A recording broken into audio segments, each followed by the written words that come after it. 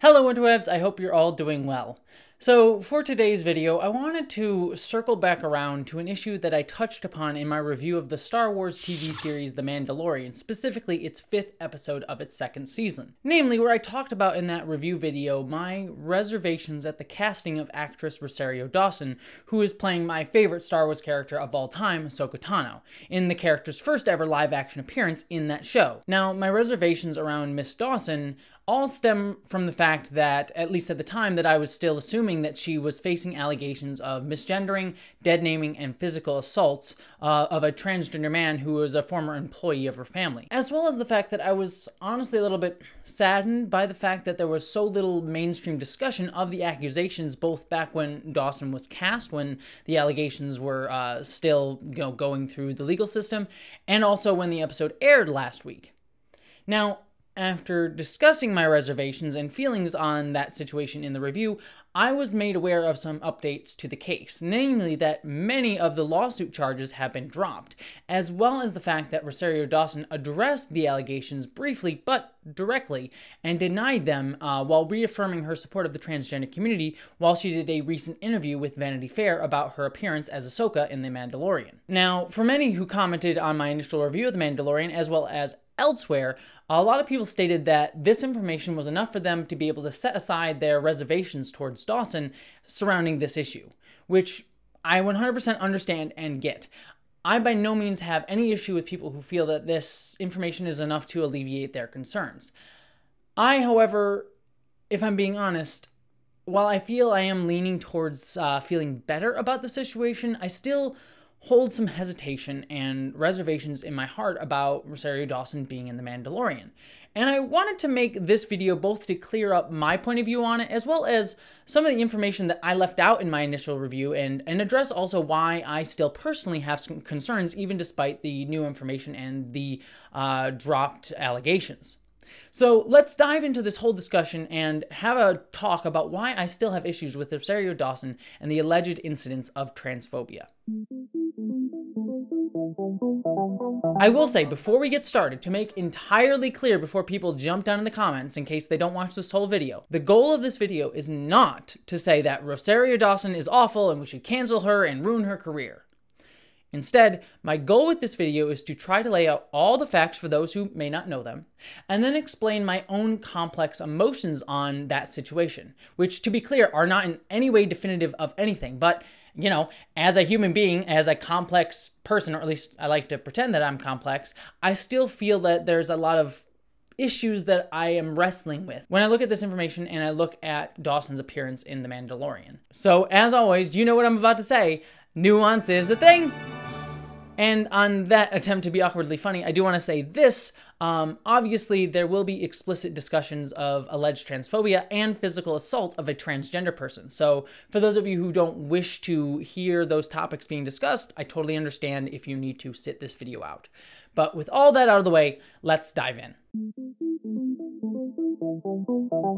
Now, for those of you who don't know her, Rosario Dawson is an actress who is known for her appearances in the movie Sin City, the musical Rent, as well as her multi-show spanning role in the Netflix Marvel TV shows as Claire Temple. Dawson has also, along with her boyfriend and former presidential candidate Senator Cory Booker, have long since spoken out against transphobia, as well as for LGBTQ issues and supported LGBTQ organizations. And Dawson herself has even publicly identified as LGBTQ. However, in October 2019, one Dedrick Finley filed an anti discrimination civil lawsuit against Rosario Dawson, as well as members of her family. Finley, who is a transgender man and who works as a handyman, and who also was a longtime friend of Dawson's family, had been asked by Dawson and her family to move from his home in New York to Los Angeles in order to help renovate Dawson's home. After moving to Los Angeles, Finley came out to Dawson's family as transgender and told them his name and pronouns he, him, his. As quoted from an article from Out magazine, quote, In the months after coming out, Finley claims his gender was repeatedly denigrated and disregarded by family members. While working on the family's property, he claims Rosario's father would scream at him in his face saying, A man wouldn't work like this, and you only think you're a man. But when he brought the issue to the actress's attention on several occasions, Finley says she didn't take action to stop it. Instead, Finley says Dawson responded by telling him to handle it himself. Quote, You're a grown woman, he says she told him. Finley says the experience made him wonder whether or not he should have come out at all, despite what he thought was a great job opportunity. It was a chance to be my true self, he says. I truly thought I'd have a more supportive reception. I thought maybe it's too much, and I felt shame around it. Having to correct when I was misgendered. I would sometimes second guess coming out, like maybe I shouldn't make waves. Eventually, however, Finley claims that the Dawson family hit financial troubles, causing his hours to be cut and eventually to having none at all. And he was asked to move out of the apartment given to him by the Dawson family. Worried about finding housing due to the housing discrimination against trans people both within the United States and around the world, Finley told out, quote, playing games with people's housing is pretty awful. Finley also claimed the family resorted to various illegal tactics to get him to leave, and eventually they showed up one day in April 2018 at his apartment. In the lawsuit, Finley alleges that Dawson threatened to kill him and his cat. When he supposedly threatened to call the police, Dawson's mother allegedly dragged him through a bedroom window. According to the court documents, quote, once Mr. Finley was lying helpless on the ground outside, Isabel, who is Rosario Dawson's mother, who is substantially larger than Mr. Finley, got on top of Mr. Finley's body and began punching him. While beating Mr. Finley, Isabel screamed, You're not so much of a man now, which was a clear and denigrating reference to Mr. Finley's gender identity. So, if the allegations are true, it's pretty disturbing stuff. And while it's not clear from that description that the alleged assault was instigated by the fact that Finley was trans, certainly transphobia played a role in the supposed events. Again, only if they happen as described or even at all. However, Derek's attorney stated to the LA Times, quote, "The aggression that was shown to him by members of the Dawson family and the nature of that aggression leads one to think that motivations were transphobic." In November 2019, Finley spoke to Out magazine about his decision to pursue a lawsuit, stating, quote, It was a really hard decision because I'd known them for so long. They were my only support out here. Finley also stated that he was worried about finding work because of the lawsuit. Quote, I don't really know anyone out here in California and came out on Isabel's word, having left my support system back in New York City to relocate here. For her part, Dawson did call the accusations baseless, but did not comment much beyond that at the time. And that's basically where things were when Rosario Dawson was cast as Ahsoka Tano in early 2020. At the time, while the lawsuit was mentioned around the time of her casting, it wasn't really a main focal point of discussion when she was cast, which led many in the transgender community as a whole to feel like the allegations against Dawson were being completely ignored, perhaps due to the fact that the violence allegedly happened to a trans man and thus was not taken as seriously by media and the larger public discourse. And for me personally, I cannot say if that was true, but I will say that it would not be the first time that accusations by a member of the transgender community against a famous person were mostly ignored by the general public, even ones that were much more substantiated than this one. So it was not an irrational concern to believe that this is what was happening here with Miss Dawson. However, in August of 2020, Finley voluntarily withdrew 18 of the 20 accusations against Dawson, including the claims of misgendering and discrimination and Finley's lawyer has supposedly left the case.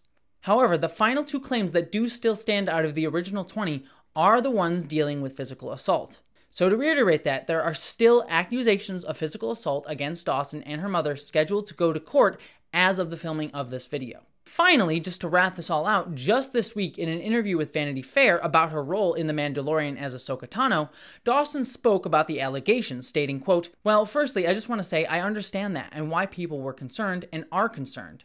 I would be too if I heard some of those claims. But I mean, as we're seeing right now in these past months and just recently, actually the truth is coming out. Every single claim of discrimination has been dismissed by the person who made them, and as you've said, the fact that this is coming from someone I've known since I was a teenager, the better part of my life, and who my family was trying to help as we have many times in the past, it really just makes me sad. But I still have a great empathy for him. The reason that all of the discrimination claims were dropped is because they didn't happen. I was raised in a very inclusive and loving way, and that's how I've lived my entire life. I've always used my voice to fight for, lift up, and empower the LGBTQA community, and use my platform to channel trans voices in fiction and nonfiction work that I produced and directed. So I feel the record is really clear. So that's where we're all at in terms of just sheer facts of this case. Now, let's talk a little bit more about how I and maybe some of you out there may be feeling on this. As many of the people in the comments of my Mandalorian video stated, and as I've seen in quite a few other online spaces like Twitter and elsewhere, for many, the knowledge that the 18 of the 20 charges were dropped, coupled with Dawson's comments, was enough to convince them that Dawson is innocent of, at the very least, harassing Finley in a transphobic manner. It can also certainly be viewed that Finley baselessly made these claims in order to lash out and pulled them when he found out that they wouldn't go anywhere. And with that possibility on the table, some people say that it makes them feel more comfortable with Dawson's casting in The Mandalorian and with her career going forward. And honestly, I totally understand that and do not begrudge anyone that opinion. This whole video is not here to dictate to you how you should feel about this whole situation. I can only say and speak for what I feel about the situation. And for me, looking at all this information, I feel slightly differently about that. Because, you see, first off, there's still two suits being filed, the ones of physical assault. So that in and of itself is concerning and should not be dismissed. But I also know, on top of that, what it's like to be a publicly visible transgender person. I am just a trans person making silly little videos on YouTube about Star Trek, and in almost every single video, I receive numerous comments of people attacking me transphobically, saying things like I'm an ugly man or I'm mentally ill for being transgender, or many times worse things. I've even gotten much, much, much, much worse things in my DMs, both on Facebook and on Twitter. And I get those with every single video. And that's on videos that I don't even talk about anything to do with trans issues.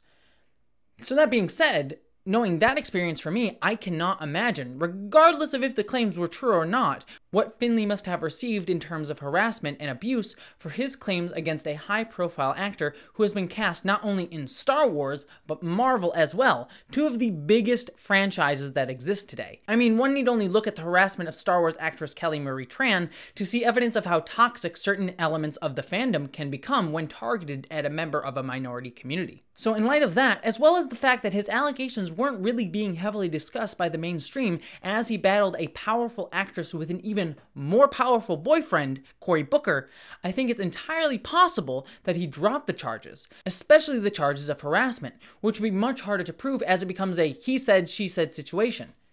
It's perhaps, and I say perhaps, telling that the two allegations that stayed around, the physical assault charges, are the ones that could be best backed up by evidence like hospital records, which Finley would have because he claimed that he had gone to the hospital after the alleged assault.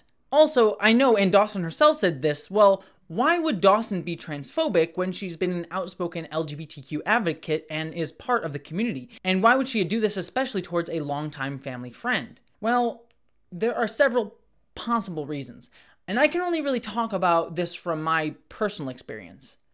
I had, a long time ago, a college friend who I came out to as transgender, and who was a roommate of mine uh, for a little bit of time.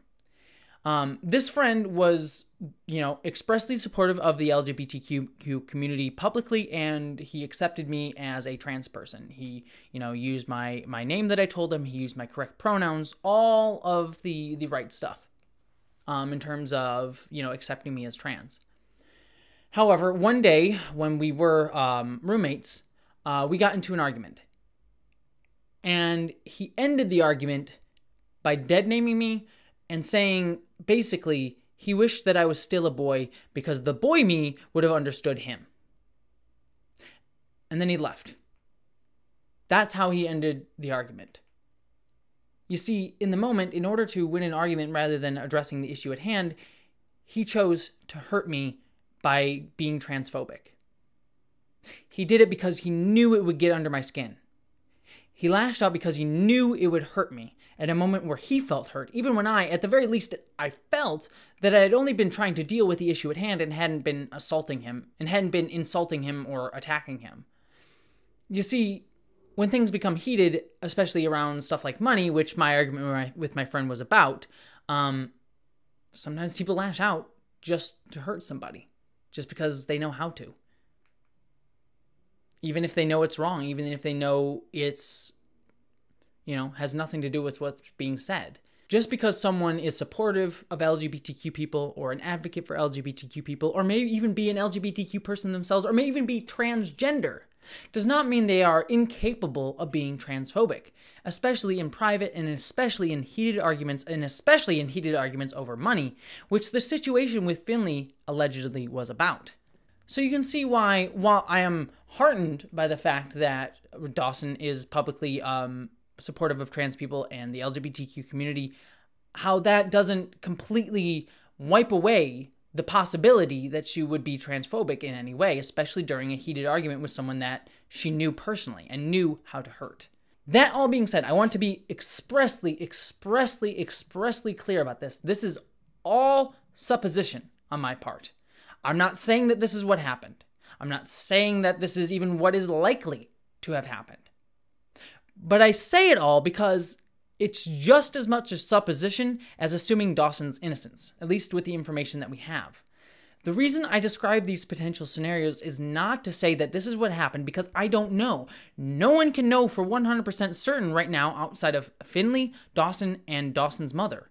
From the information that we have as a public, either interpretation or even a mix of the two that Dawson is completely innocent or completely guilty are both perfectly valid interpretations. And determining which one is which is exactly why we have courts of law to begin with, anyways. So I'm not here to condemn Dawson or say that we should somehow cancel her or her career should be destroyed. What I am saying is that I personally, when I see her being cast in things that I'm excited about, or I watch a project that she appears in, that I, as a transgender person, feel uncomfortable. And you know what? Maybe that's completely unfair to her. I completely acknowledge that. In fact, it's definitely unfair to her if she didn't do anything wrong. But I know myself that I can't divorce myself from feeling uncomfortable. Again, I know that might be unfair to her. I can acknowledge that my feelings might be unfair, but you also have to acknowledge that they might not be. And you also have to acknowledge that they're my feelings, that they are what I'm feeling. Even even if I don't want to be feeling them, I am feeling them. And I also know that I am not the only person both within the transgender community and out of it who may feel this way. So the point I want to end on here is, you know, I'm not here to say let's cancel Dawson. I wouldn't even cancel her if I could, you know, push a bad big red button and completely cancel her. Uh, if I could do that, I wouldn't. I think if I made anything clear is that I as a person always try to give as much credence and nuance as possible to a situation. So to call Dawson a horrible person or to cancel her over this would be me presuming too much with too little information, and that would be wrong of me. But also, as a trans person, knowing that the possibility exists that she may have done these things means that I cannot feel completely comfortable watching her, which sucks I acknowledge it sucks. It sucks as a fan of Star Wars. It sucks as a fan of, you know, the Marvel TV shows. Uh, it sucks as someone who liked Dawson uh, before these allegations. And it sucks even more so if the allegations aren't even true, but I cannot know that and I can't change what I feel. And so ultimately, I have to be true to that and validate that about myself and just acknowledge it. I'm not trying to attack Rosario Dawson. I'm not trying to destroy her career. I'm just saying I feel uncomfortable.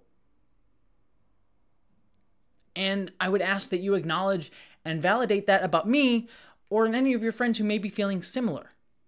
You know, if you see people attacking Rosario Dawson or harassing her or claiming that we know definitively that, you know, she did these terrible things, that is incorrect and wrong, and we should state that and call that out.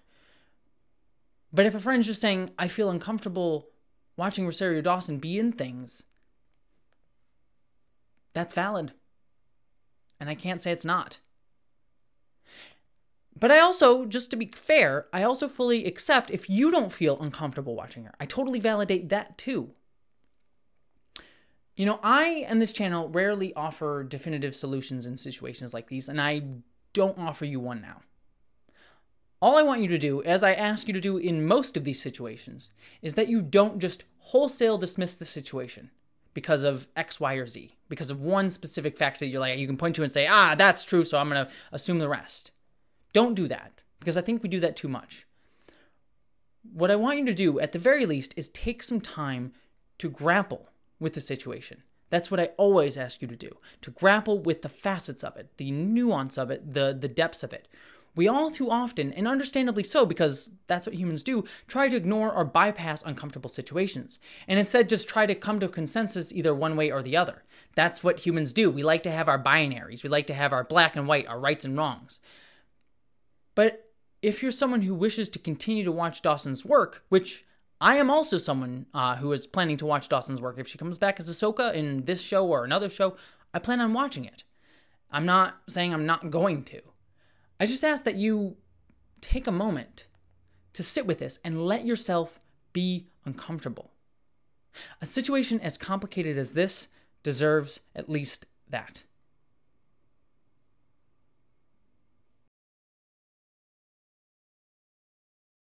Thank you so much for watching. I know that this one was a little bit harder, but I wanted to be true to the uh, harder realities of this situation. Um, so yeah, I like I said, I just ask that you grapple with it. Um, beyond that, don't forget to, you know, subscribe, uh, as we like to grapple with hard discussions and hard topics, both within pop culture and geekery and the transgender community here on this channel. That's all right here. Um, I would love to hear your thoughts in the comments below. Let's try and keep it civil. I don't mind if you disagree with me or are, are upset at me for some of my opinions in this video. I totally understand and get it. It's a heated topic, but let's just try and remain respectful uh, of both myself and others who may be in the comments as well. And then the final thing I will also say is don't forget, if you do want to support me, I have a Patreon page. You can get yourself cool perks like your name and videos and access to my exclusive Star Trek Enterprise podcast. Um, that's all there for you if you want to support this me or this channel. Uh, beyond all of that, I hope that you, as always, live long and prosper. Thank you to all of my patrons this month, but especially Amanda Ronye Idanya, Catherine Lambeth, Ashley Ellen Bokikio, Miranda Janelle, Eli Bergmoss, Ashlyn Solstice, Michael D., Greg Gillum, Stephen Kleinard, Ulysses the Pagan, Randy Thompson, Munir Amlani, Chamomile T, Stephen Schuhart, Wellington Marcus, Boyd and Mary Beth Earl, Wayne Twitchell, Ish the Mad, Buttoneer, Roar, Christina Dalliance, Dominic Noble, John Steele, Michael Beam. She sells seashells by the seashore of Bajor.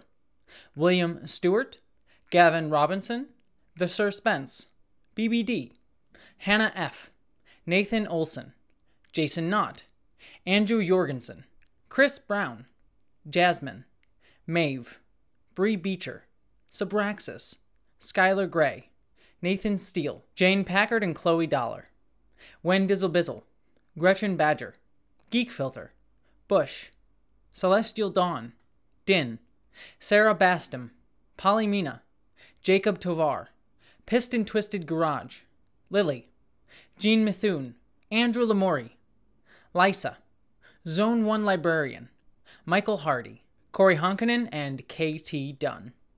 Thank you so much to all of you. You're quite literally making my dreams come true, so I, I cannot tell you how thankful I am.